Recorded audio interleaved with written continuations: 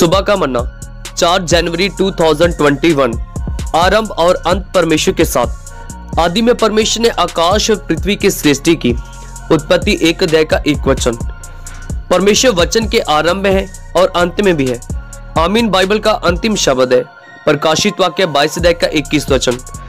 और परमेश्वर का एक नाम आमीन है, प्रकाशित वाक्य तीन अध्याय का चौदह वचन।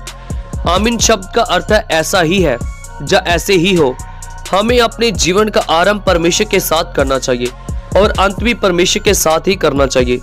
तब पृथ्वी पर जीवन पूरा करने के समय परमेश्वर पहचान और प्रशंसा का आमीन शब्द हमारे लिए कहेगा।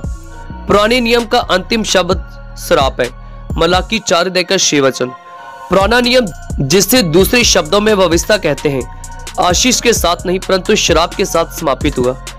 यदि हमें अपने जीवन का अंत परमेश्वर के साथ करना है तो हमें अव्यवस्था के द्वारा नहीं, परंतु प्रेम के बंधे हुए होना चाहिए। जे और भी रुचिपूर्ण और ध्यान देने योग्य बात है कि बाइबल का आरंभ परमेश्वर और स्वर्ग से होता है और अंत भी परमेश्वर और स्वर्ग से होता है। उत्पत्ति की पुस्तक परमेश्वर और स्वर्ग से आरंभ होती है और अंत मृत्यु मिश्र के एक संदूक से होती है। नदान, जूसफ मर गया लोथ मिश्र में एक संदूक में रखी गई। उत्पत्ति पचास देकर छब्बीस वचन। जबकि परमेश्वर अंत में हमें स्वर्ग प्रस्तुत करता है। दूसरी तरफ़ मिश्र जा जे संसार केवल हमें मृत्यु जा सब संदूक ही प्रदान करता है।